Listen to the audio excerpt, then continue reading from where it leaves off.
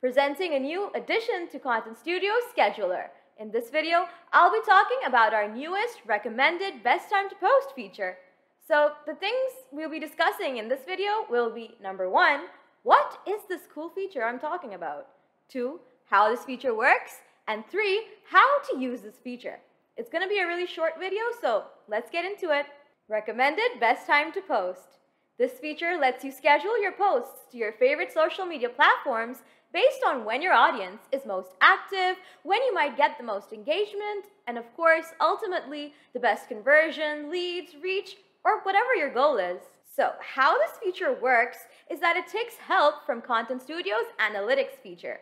Based on your posting patterns, the social media channels you post to, and the engagement you get on those posts, the feature puts all the data together and tells you when the most ideal time for you to post is. Isn't that awesome? And you don't get just one single best day, it gives you three of your most ideal posting times so you can pick and choose whichever best suits you. Let's jump into ContentStudio's Composer and have a look. In the Composer, select the social media platforms you want to post to, create a social media post, adding an image and a short caption. When you've created your post, scroll down to when to publish. Next to schedule, you'll find the best recommended time option. Select it. Make sure you've selected at least one social media platform, otherwise you won't be able to select the option since the results are based on the social media platform you choose.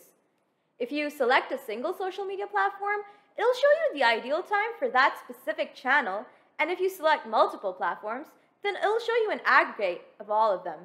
So keep that in mind.